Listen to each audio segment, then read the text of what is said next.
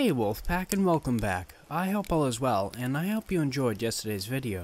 Today, we're reading I Never Should Have Asked My Girlfriend to Take Her Mask Off by Her Creation. With that said, whether you're sitting around a campfire, on the night shift, or even lying in bed, let my voice soothe your nightmares.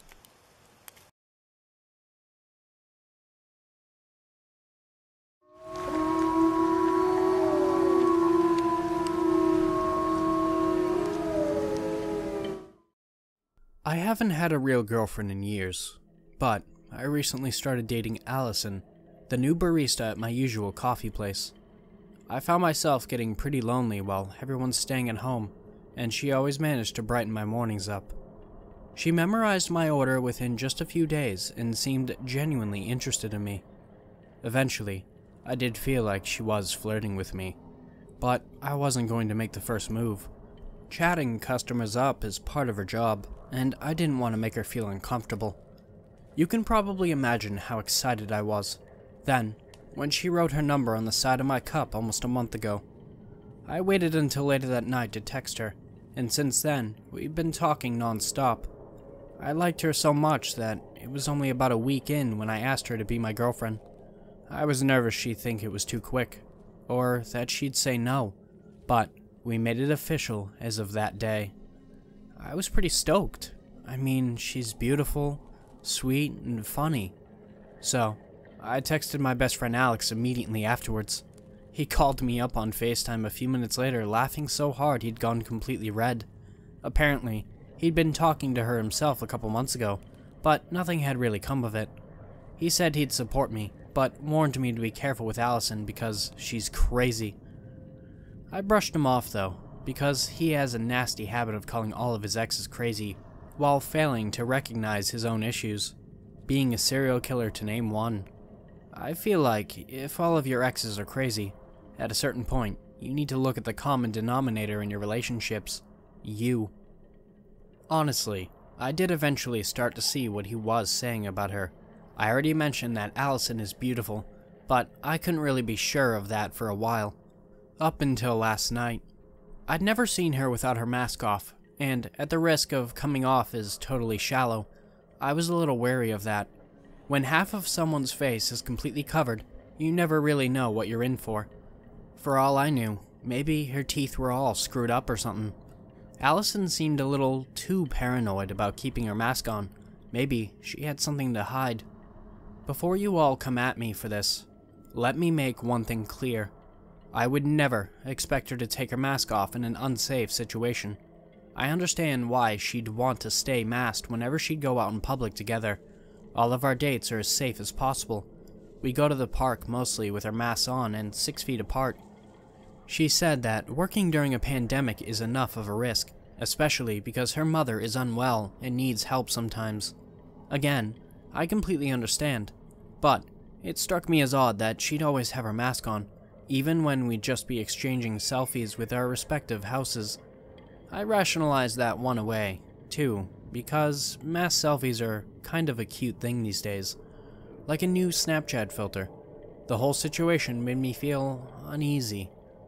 We hadn't even kissed, but I liked her a lot. So, I figured she was worth it. It seemed like she was starting to let her guard down a couple weeks ago when she started talking about maybe inviting me to her house. I decided not to push her, not wanting to freak her out by being too eager. Instead, I took some initiative and upped my quarantine game. After two weeks had passed, I asked her yesterday if she'd be willing to meet up at one of our places. I was ecstatic when I got her reply, and excited yes. With her address and a time to come by later that evening, I went about the rest of my day, anxious she'd changed her mind. But the I'm sorry, but text didn't come. I was finally going to get a real chance to ask Allison to take off her mask, and I couldn't believe my luck. Now, I feel lucky just to be alive. Anxious, I left my house way too early, and had to slow my pace just so I wouldn't show up there too early. I knocked on her door, and she appeared at the doorway, masked, of course, and let me in. I followed her down the hall, past her roommate's room, then into her room. She sat cross-legged on her bed before inviting me to sit beside her by patting the duvet. I sat down on the bed awkwardly. I was suddenly very, very nervous. I hadn't been alone with a girl in her bed in, well, I couldn't remember how long. This year has been terribly long, and I never really had luck with girls before all of this anyway. The anxiety sweat started to set in, and I hoped she wouldn't notice, or that at least she wouldn't point it out and laugh. Thankfully, she didn't. We actually had a phenomenal time. We walked for at least an hour, chuckling over stupid jokes and the occasional thump and moan coming from the next room, barely concealed by the thin walls of her apartment. Allison coyly remarked that her roommate certainly hadn't let quarantine slow her love life down, and I laughed even more. Everything was going so well, it seemed like the right time to ask if we could unmask at last. She tensed up almost immediately. I could tell she was nervous. So, I rushed to soothe her. No pressure, babe. We don't have to, but I promise I haven't left my house in two weeks. We've been so safe this whole time. No, I know. You even got your coffee delivered instead of coming in to see me, Allison admitted. She giggled a bit, her shoulders relaxing. You first, though. I nodded enthusiastically before practically tearing my mask off. See? Everything's okay. Even though I couldn't see it from behind her black mask, I knew that she was smiling. Her bright green eyes squinted ever so slightly as soon as I took off my own mask. I smiled in return, trying to make her feel safe and comfortable. Allison took a deep breath as timid hands moved to the sides of her face. Slowly, she pulled the loops of her mask back from behind her ears. I held my breath in anticipation as she eased the fabric covering off of her face. As soon as I saw her face, I was at a loss for words. She looked to me, anxious, searching for the response I was physically incapable of giving at that moment. Throwing her hands over her face, she turned away from me, hiding. I leaned forward to take her forearms in a gentle grasp, guiding her hands away from her face, then holding them in mine. You're even more beautiful than I thought. A slow smile spread across her face, nearly splitting in two. I was being honest. Allison was the most beautiful girl I'd ever seen. I'd known she was beautiful before, but I struggled to explain the absolute perfection of her face, well observed altogether. Her lips were full and pink, her skin was like polished porcelain, her smile was absolutely flawless, framed by a pair of adorable dimples. In that moment, I couldn't imagine what she could have possibly been so worried about. We talked for a little while longer, and before long, I knew I had to kiss her. I would have hated myself if I didn't make the next move. Like I said, I'm not great with girls, so I kept stalling, kept doubting myself. Eventually, I just decided to ask her if I could kiss her. I ended up asking her where the restroom was instead. Stepping out of the room, I buried my face in my hands, chiding myself for being such a wimp. I found the bathroom, then ran the tap so I could splash some water on my face. I gave myself a quick pep talk as I stared myself down in the mirror. Get your shit together, man.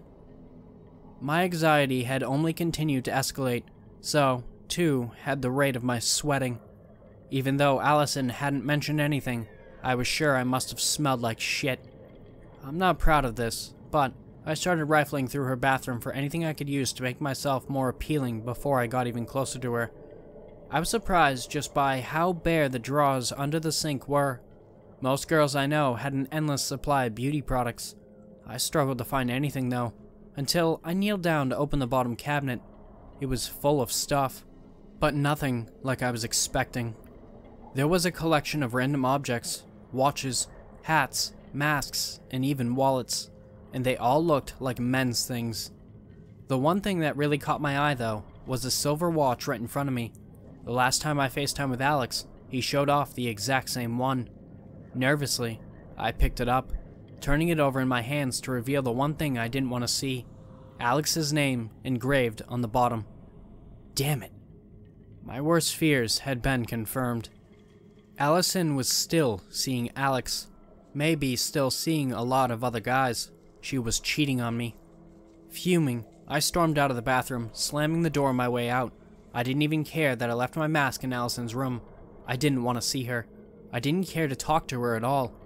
Alex had been in her house since we started dating, and I knew what he was like.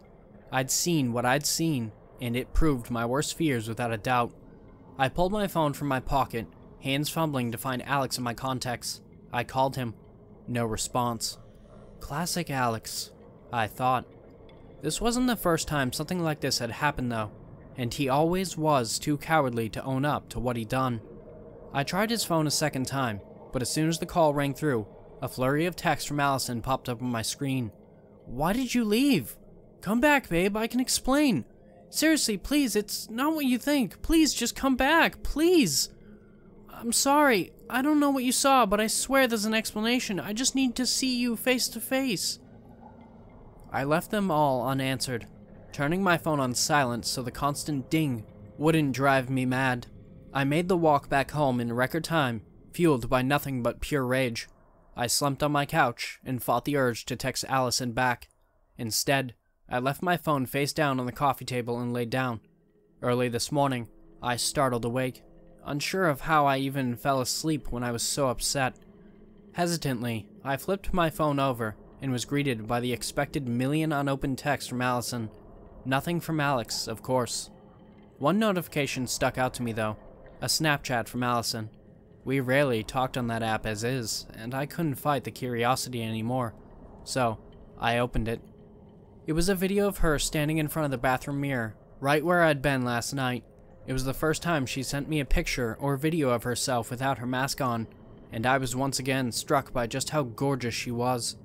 I felt myself softening towards her until I read the caption, You didn't even wait for me to take off my mask. Confused, I glanced back up at her face. She'd brought her free hand up alongside her jaw, thumb wriggling against the crevice under her ear. She dug her thumb deep into her flesh, so viciously that just watching it freaked me out. That perfect smile grew across her perfect face as her thumb hooked deep into the back of her jaw and the side of her face released. I threw my phone down, still confused but more than absolutely freaking terrified. I didn't want Allison to see the rest, and I didn't have to. By the time I gathered the courage to look again, it was over. Allison hadn't tried to contact me since. She still hasn't, and I'll count myself lucky if I never see her again. I called the police right away. They laughed me off at first, but their interest peaked once I mentioned some of the things I'd found in the apartment. Apparently, a lot of guys have gone missing in the area recently, so they decided to stop by her place just in case. When they got there, she was gone. They didn't find her, but they did find the stash of trophies she left behind in the cabinet, all taken from those missing guys. Worst of all, they found Alex's body. He'd been brutalized over the course of a couple weeks, but He'd only been killed last night. I'm devastated to say the least. Not only did I lose my best friend, but I couldn't even save him. I should have raised the alarm when I hadn't heard from him in a while, but I haven't really been seeing anyone these days. Not only that, but I know now that the sounds I laughed off last night were not what Allison said they were. They were the groans of a dying man in pain. They were the desperate thumps of Alex's last attempt to get help.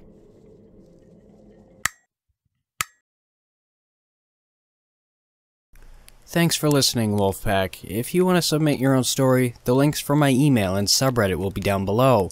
I've also created a Discord, so if you want to join that, the link will be in the description down below as well. Don't forget to like, share, and subscribe. And with that said, have beautiful nightmares, and I will see you next time.